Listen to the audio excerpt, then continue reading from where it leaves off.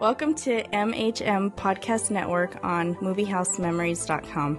Podcast for Pod People. Our feature presentation begins now. You are listening to a classic episode of Lunchtime Movie Review on the MHM Podcast Network from our original set of reviews from August 2011 to December 2012. And we are the children of the 80s.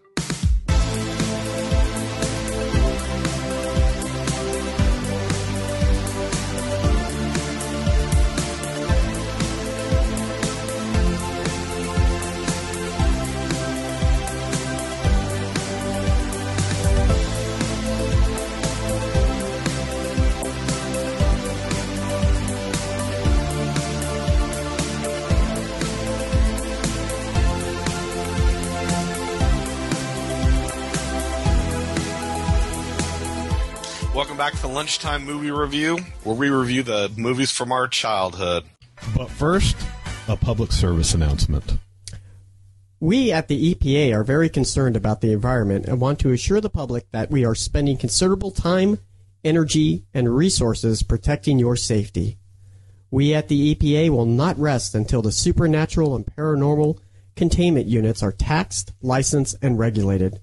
We promise to do whatever we can to shut down the menaces to society that capture and secure supposed ghosts. And we promise that another marshmallow incident will not occur in New York City. The views of the EPA are not necessarily the views of the mayor of New York. He hates soda. All right. Peter Venkman, Ray Stantz, and Egon Spengler, played by a blues brother and two guys from Stripes, are professors at Columbia University in New York City, New York City! where they study parapsychology, otherwise known as bullshit pseudoscience. You know, like astrology, creation science, chiropractors, homeopathy, and Scientology. Fortunately, one of America's finest university recognizes the ridiculousness of this area of study and defunds their grant. Tom Cruise finds their lack of faith disturbing. We're going to get shut down by Council for Scientology. Unemployed and armed with their passion of ghosts and some nuclear proton guns, they start a small business known as Ghostbusters, where they can be hired to capture ghouls, ghosts, poltergeists, and specters. Their first customer is Dana Barrett, played by Ripley, the panty wearing alien killer herself. Dana's refrigerator seems to be possessed by Temple of the Dog Zuul. We're also introduced to her quirky neighbor Lewis, played by Bob McKenzie. Venkman takes an interest in the permed out cellist and wants to make his own type of white noise with her. Business continues to be slow until they get a call from an effeminate hotel manager and encounters a Slimer. Slimer's kind of like Rosie O'Donnell. It's fat, disgusting, and eats and drinks anything in sight, and leaves an ectoplasmic residue in its wake. They're able to capture this ghost with their proton guns and ghost trap. It's a trap. But Egon informs them what Christians have known for years crossing swords is bad. By bad, I mean all life as you know it is stopped instantaneously, and every molecule in your body explodes at the speed of light. They trap the less disgusting version of Rosie and announce discreetly and professionally that they came, they saw, they kicked its ass. Soon, their business is booming as New York City becomes a veritable cornucopia of paranormal activity. They become so busy they hire a non scientist token black guy to join them. Except in this film, he doesn't die. They're very progressive. They continue to fight ghosts and are pestered by something even more frightening than any ghoul the Environmental Protection Agency. Dun dun dun. Walter Dickless Peck of the EPA, for no apparent reason, is intent on shutting down the Ghostbusters. Even back in the 80s, the EPA was out to shut down small business. That's right, because Reagan really liked regulation of businesses, especially the small business owner. Meanwhile, back at Dana's building, Lewis is having a tax write off party, and Dana returns to her apartment. Both are attacked by terror dogs, turning Dana into sultry Zuul, the gatekeeper, There is no Dana. There is only Zuul. There is no Dana. only Zuul. And Lewis into Vinz Clortho, the keymaster, which is different from Leon the game master. Yes! Leon! Zuul and Vinz are minions of Gozer the Gozerian. Gozer isn't a character from Fraggle Rock, but is a Sumerian god who takes on various forms in order to destroy civilizations, kind of like Obamacare without the death panels. The guys are facing an Armageddon like moment with the dead rising, oceans boiling, dogs and cats living together in mass hysteria, and thereby ushering in the end of days. Before they can combat Gozer and his minions, the EPA and its minions shuts off the Ghostbusters' power, releasing all the ghouls, ghosts, and thetans into the environment, and the Ghostbusters are arrested. In jail, the guys learn that Dana's building was built by a crazy guy in the 20s who built the building as a doorway to Gozer. The mayor allows the guys out of jail to save his vote to save his voters, and they rush off to meet Gozer, who is manifested as a white Grace Jones, ugly sees no color. She disappears but announces that the Ghostbusters must Choose. Choose the form of the destructor. Unable to clear his mind, Ray tells them he couldn't help thinking about It's the Stay Puft Marshmallow Man. So a 10 story tall, Stay Puft Marshmallow Man appears and the guys do the unthinkable. They cross swords, I mean streams, and the resulting explosion destroys the Marshmallow Man, Gozer, Temple of the Dog, and hopefully Eddie Vedder's career too. Woohoo! Say hello to heaven, Mr. Vedder. He did like one song on Temple of the Dog was mainly Chris Cornell. Yeah, it was mainly Chris Cornell, but I like Chris Cornell. Yeah, well, I don't we really just like lost Eddie all Vedder. of our like cred. Lewis and Dana are saved, and the Ghostbusters are victorious, proving they ain't afraid of no ghosts. That's Ghostbusters, essentially. Actually, completely. yeah, it is pretty thorough. Yeah. All right, when did this thing come out? I was released on June 8th of 1984, the same day as the classic Beat Street and Gremlins. Uh, same, Oh. yeah. So it was a big Gremlins and Ghostbusters coming out in the same week. That was a big week for in in June. Same month as Once Upon a Time in America, Star Trek Three: The Search for Spock, Streets of Fire, which also had Rick Moranis, uh, The Karate Kid, Top Secret, Rhinestone, Cannonball Run Two, and Conan the Destroyer. Greg's favorite film. No, Cannonball no, Run 2. And gay news. Dee, dee, dee, dee, dee. no flies on Conan the Destroyer. No. Any movie with Wilt Chamberlain. Uh, it grossed Good by me. It grossed uh, over $229 million. It was the second highest grossing film of 1984. It was only behind Beverly Hills Cop, the number one grossing film of the year, and only finished 5 million behind that. Uh, it finished in front of Indiana Jones and the Temple of Doom. It grossed over $50 million more than that film Wow. did. And Gremlins, Although that had the whiny screamer, so. yeah, that's true. Uh, also, it beat out Gremlins and Karate Kid, which were fourth and fifth in the. in Ah, it's a big year. Yeah. Nominated for two Academy Awards Best Visual Effects and Best Song, losing both. Oh. Oh. Wah, wah. Yeah, and I also read considered the top grossing family film. The top grossing comedy of all time until Home Alone came out in 1990, and then Home Alone was the top grossing comedy of all time. Okay, comedy, not family film then. Not family film comedy. All right. Yeah. Because well, Beverly Hills Cop was a drama.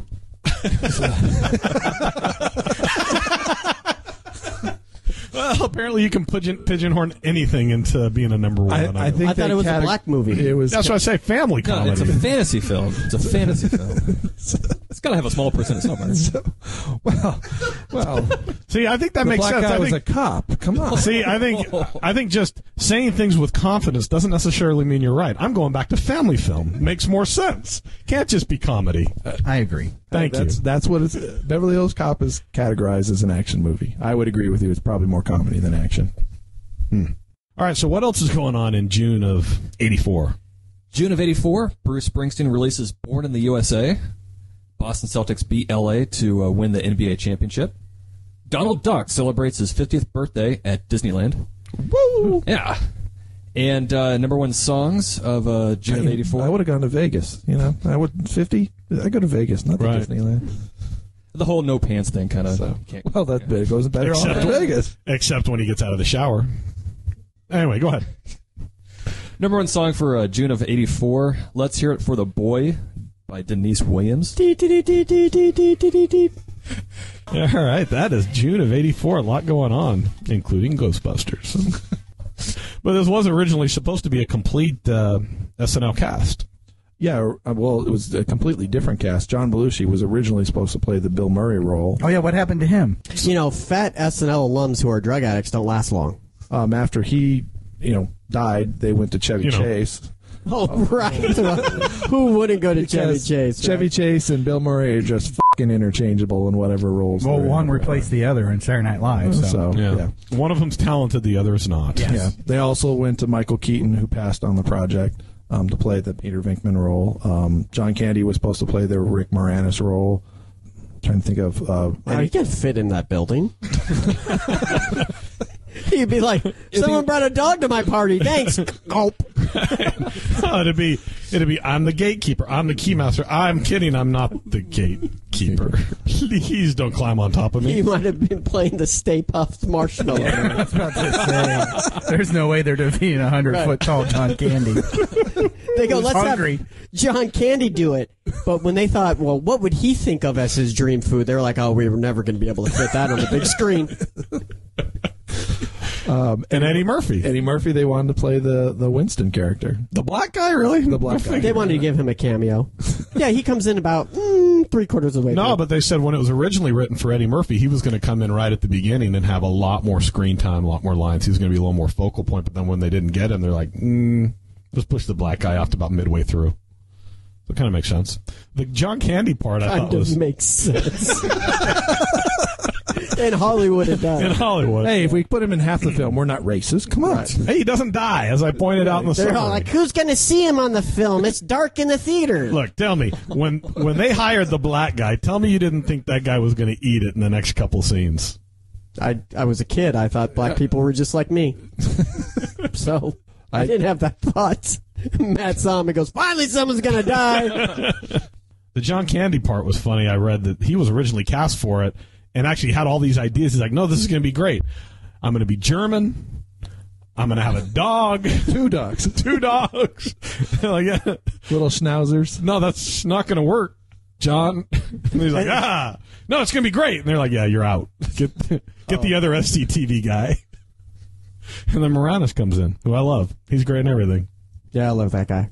uh, Dan Aykroyd was the main writer, and kind of the the original story I thought was was kind of interesting. In an early draft when it was supposed to be Belushi and him, it was takes place in the future where there's a world filled with Ghostbusters, and it was very futuristic, and you know it was uh, ghosts were commonplace, and uh, Ivan Reitman sat down with the script and said, "Hey, this if to make this, it's going to cost two hundred million dollars. There's just no way we can do it."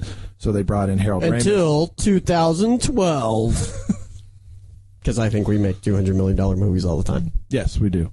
Uh, but that was two hundred million dollars in that day. Is that they were saying that it would cost that much, so that that would have been the you know most expensive film by far to make something like that. So they brought in Harold Ramis to kind of bring it back to modern time and kind of rein in some of the. Uh, Because they couldn't do it on their own. They were stuck in the future.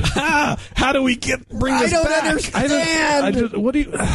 you want me to make Ghostbusting now? like we have to live in like a building like we have now? But we don't. But we don't have ghosts now. I don't get it. But, but it it calls for a flying car. However, are we going to do this with a non-flying car? Wait a minute. Is there heroin in present time? So that's why Harold Ramis even. That's all came Belushi involved. wanted to know. That's why Belushi was on. so, uh, Harold Ramis came, was brought in just as a writer, and then during the casting process, they they decided he was probably the best one for Egon. They decided, or he decided. You know what, guys? This Hey, Egon they- character they just isn't in the film working for time. me. Never mind that I wrote it myself. I should do this. Isn't that kind of what, what he did in Stripes too? It's No, kind of the same move. In Stripes, they, he wanted. Well, yeah, he did want to play the Boone character, and when they said, "Now you're too old," he didn't play any. No, in Animal House he did that. Sorry, in Animal Yeah. In Stripes, I don't. I think it was the same thing. He's like, yeah, that's kind of going to be was- mine. Because what else wrote- has he been in really, other than kind of these ones? I'm trying to think of what these are the ones I know him in. Ghostbusters two. Ghostbusters two. Maybe he'll be in Ghostbusters three. Uh, he he went to the role. Of, he kind of went to being a director in the '90s, so he very seldom Yeah. appeared after that. So Oh, it's kind of uh, kind of interesting. Uh, all right, so what do you guys think about the uh, effects? Any, any, Wait a minute. Are we done on, on the cast part? I think so. What else does there to talk about? I don't know. I'm asking Patrick. Do you want to know who else was possibly cast? With- Yes. They looked for thought you did. Egon. No, I didn't Oh, talk about Egon. Egon.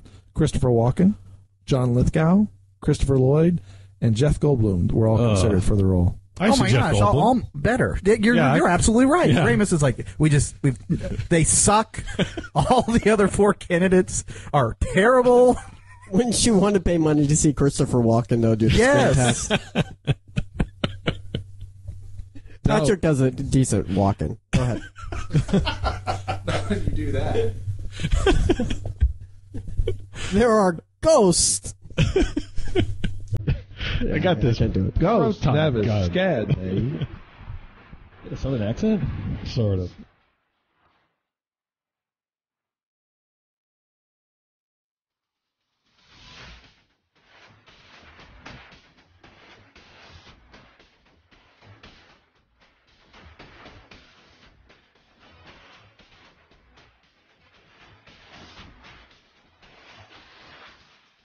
Yeah, so the music in in this, obviously Ray what's his name? Ray Parker Jr. Did some research on this. The, originally, they didn't want him to do this. They wanted Huey Lewis and the News to do it. Yeah, because Song. when they said, "Hey, Ray Parker Jr. Jr. wants to do a song for us," everyone went, "Who the f- is Ray Parker Jr.?" it's the guy. He stands on the corner and he drums on the bucket. But the Ghostbusters song does become a number one. Yeah, in August Song. For, for three weeks, it's the number one song. Wow.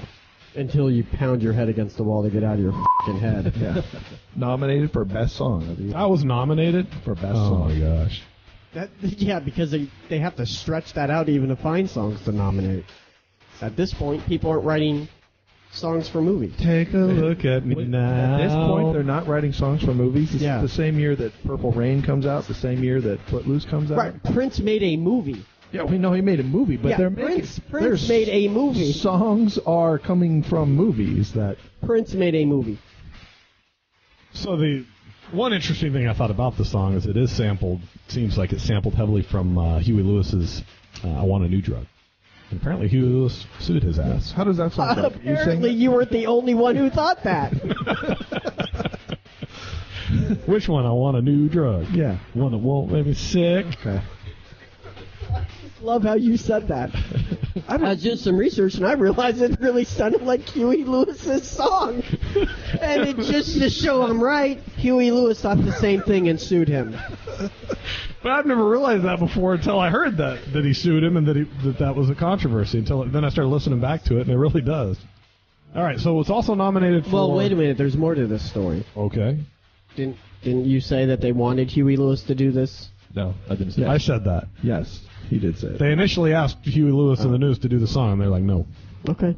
I'm, Sorry. com- I'm I didn't committed. know you already said that. I am committed to Back to the Future. All right, so what else was it nominated for? Best visual effects. All right, so let's talk about these effects. What do you guys think?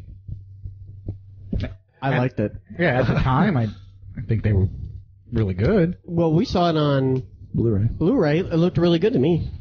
Yeah, that's so too. Actually, Yeah. that's what I thought. Yeah, I think they held up. No up. disappointment. No, I would, it really. I, I was surprised how well it did hold up. Yeah. The proton streams seem a little dated, but everything else looks pretty good. The which one? The proton streams. You know, Oh. nuclear science. Yeah. David. But the Marshmallow Man looks pretty legit. Well, and the and the scenery and stuff too. Even like the temple. I mean, after all the Marshmallow Man I've seen, it looks like a real Marshmallow Man. Listen, you didn't grow up in Indiana, man. you know what I went through. no, the temple, the temple, and the scenery and all the, that kind of stuff's pretty good. The dogs, eh, kind of the worst. They're the most kind of Yeah, that's the stop motion stuff. Yeah, that the always looks animated. dated. Yeah. So, Yeah, and my my daughter was watching it with us, my eight year old, and she's like, um, it looks really, it looks cartoony. That looks cartoony. That's what she kept saying about the dogs. The so- dogs. But other than that, I mean, it's it does pretty well. So, but it didn't win. No, it lost to uh, Temple of Doom for visual effects. For Okay. making the real snakes and real bugs look like real snakes and real bugs. Oh, they had to tear that guy's heart out. That yeah. was- It was actually just one Indian child. They had played many Indian children. So, All right, what else about this film? what what about the ghosts themselves? Which? All right, like what? Like Slimer. That, that's a pretty funny ghost. Yeah, that, it, iconic ghosts. As far as ghosts go, they're pretty funny. Yeah.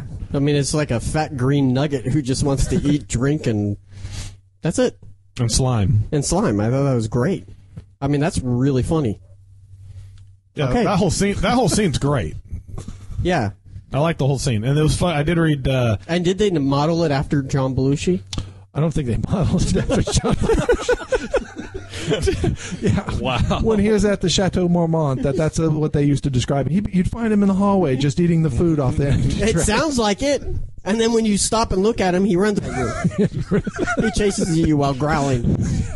He'd run you over, and you'd be all kind of wet afterwards. And then he crashes the party downstairs. No, but that uh, Dan Aykroyd did refer to it as the ghost of John Belushi. Apparently. Yeah, I think that's a really funny ghost. Well, the whole scene I think is great. When when uh, just the whole capturing scene is great. Uh, that's my favorite Dan Aykroyd. Dan Aykroyd is funnier in that scene than anything he's ever been in. He's real understated, but at least he's at least he's funny. Even Caddyshack 2? no, but when you think about Ghostbusters, right? The first ghost they kind of run into is a woman, the shh, The librarian, library, who's like a person, and then turns into a ghoul. But this Slimer character is never a person; it's just a green blob who wants to eat and drink. Yep. That's Yeah. funny. okay, I like it. All right. I, I don't think anybody's disagreeing with you, Jason. No, but no one's like, "Hey, me too." Oh, that's- Yay, And I'll stare at- I Slimer! hope when they make the third one, it's all about him. Right. Well, and he becomes a critical character in the uh, No. cartoons. Oh, was it's a- cartoons. Yeah, and the real Ghostbusters. Yeah, Yeah. the cartoon. He becomes like, yeah, their mascot. No, their these, pet. these are the real Ghostbusters. Those are the fake Ghostbusters. Right. Yeah, and he comes make, comes back in the Extreme Ghostbusters, another cartoon that comes out in '97. We'll get to that.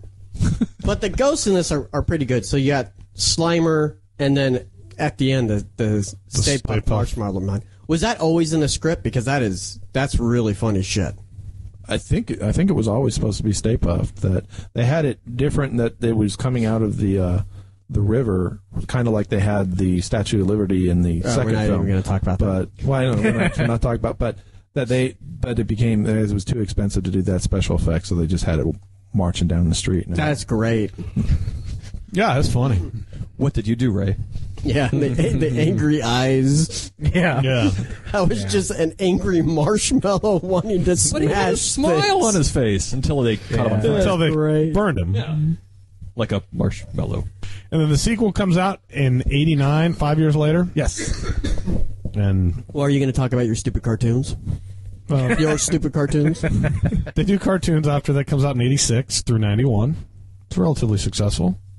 Arsenio Well, Hall. Yeah. well, there was two, but there was two Ghostbusters cartoons. Yeah, There the was first one was- Ghostbusters, and then there was the real Ghostbusters. Yeah, but w- the, well, yeah, the Ghostbusters was like this weird one though, with like an ape and uh, We were the originals. But then we Before realized the that there was another originals. yeah, the G- Ghostbusters was like two guys and like this ape who were Ghostbusters, Grape ape.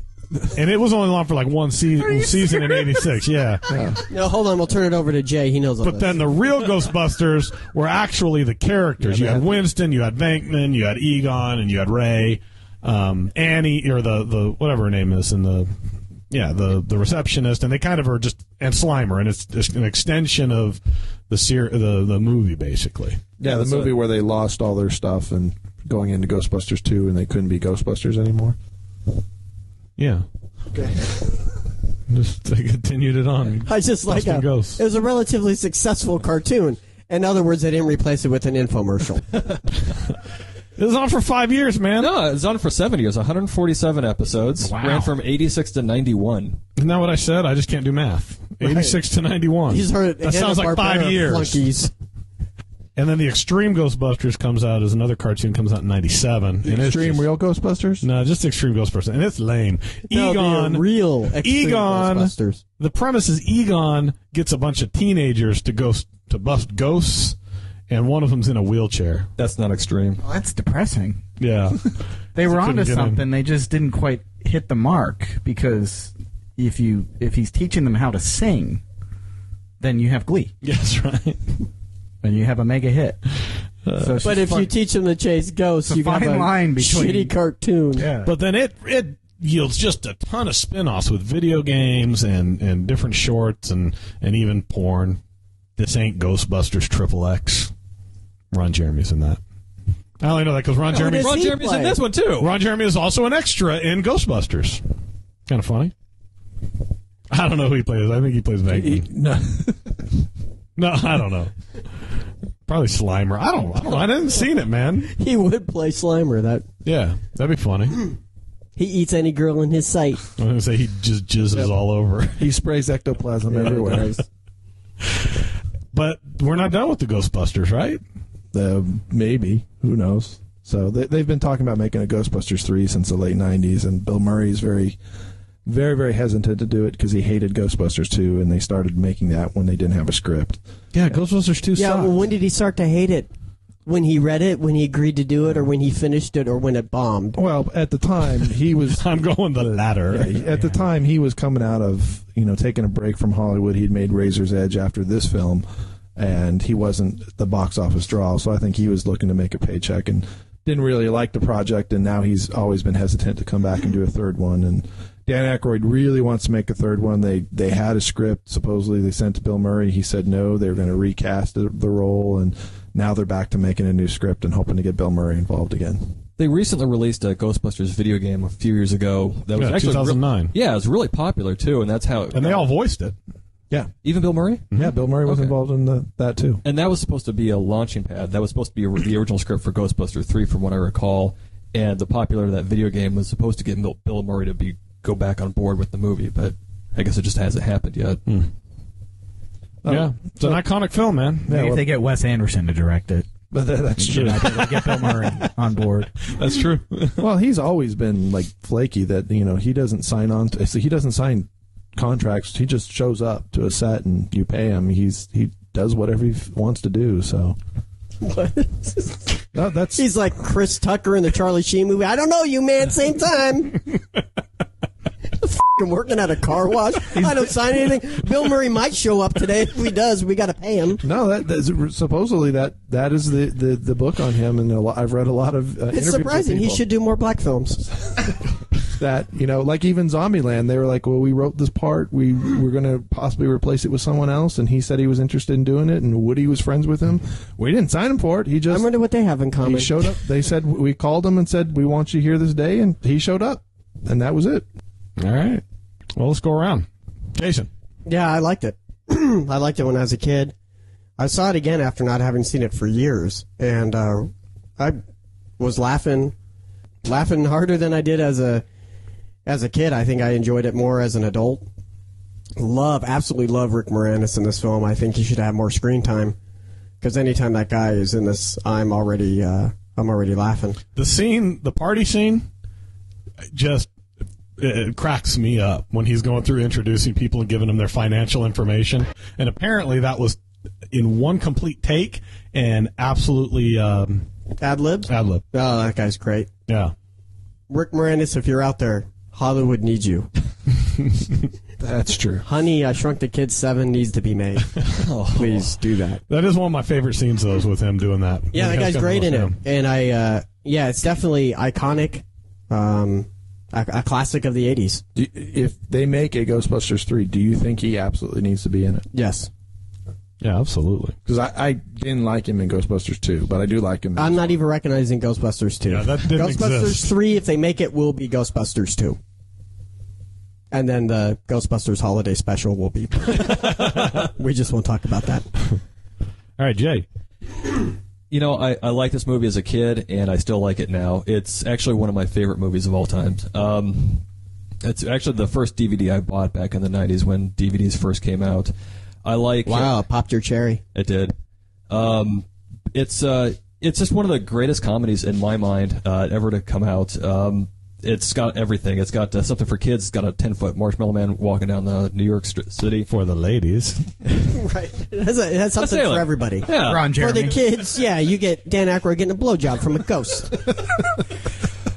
Suck But it for up, the, kids. Suck for it the up. adults, you get the uh, little bit more adult or uh, more subtle comedy of um, things are going great until ridiculous here with turn off the containment grid. You know, I just think the- kids are going to understand that. Yeah. Yeah.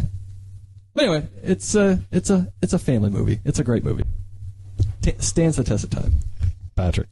Um, I think this film's a classic film. It's I I agree with Jay that it is one of the first DVDs I bought back in the late '90s. Um, I love Bill Murray in this. Almost every one of his lines is just hilarious to me. The way he delivers it. And I agree with Matt that I don't have a lot of fondness for Dan Aykroyd, but he is so understated in this film and not so over the top that he actually is very good in the role. I like everybody who was cast in the in the film, even Harold Ramis. I think he plays the role he's given very well. And I, I you know, I watching this now, almost God, almost thirty years later now, that this is. It, to me, is almost like a near mm-hmm. perfect film as far as comedy wise. That it, it holds up, and it's one of the few comedies that I think that I can watch over and over again, and I still think is hilarious. But yeah, I do think it stands the test of time. And thinking of like Dan Aykroyd, this is like the first movie we saw him in, or at least I did that. I can remember because I saw this before. Dr. before. Detroit. I saw this before Blues Brothers, and I go, man. When I saw Blues Brothers, I go, Dan Aykroyd got skinny. yeah, that dude blew up. Greg. Loved it as a kid, love it now. Uh, take note, Hollywood of today. It's okay to do a movie with a really good story, really good writing, and good special effects. You can marry the two. It's okay. Give you permission. Uh, and and I think that's what one of the things that makes And us- keep the black guy alive. Michael Bay needs to direct Ghostbusters 3. the line, the dialogue's great. I mean, it's fantastic. I, I wrote a few things that down that are just hysterical. I mean, Rick Moranis, my favorite line of his, and he delivers a ton of them. But I taped 20 minute workout in my machine and played it back at high speed, but it only took 10 minutes. I got a great workout. I mean, that's that's just com- comic genius right there. Well, that's it for today's classic episode of Lunchtime Movie Review. Please let us know what you think of the film in the comments section on our website and rate it from 1 to 5 stars on that page as well.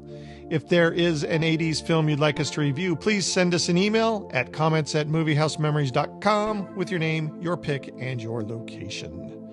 And finally, if you are of the social media persuasion, you can look the MHM Podcast Network up on Twitter, Facebook, Instagram, and YouTube. And if you do, please give us a follow when you find us.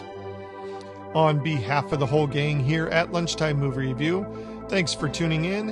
And until next time, we have to get out of here, and you guys are invited.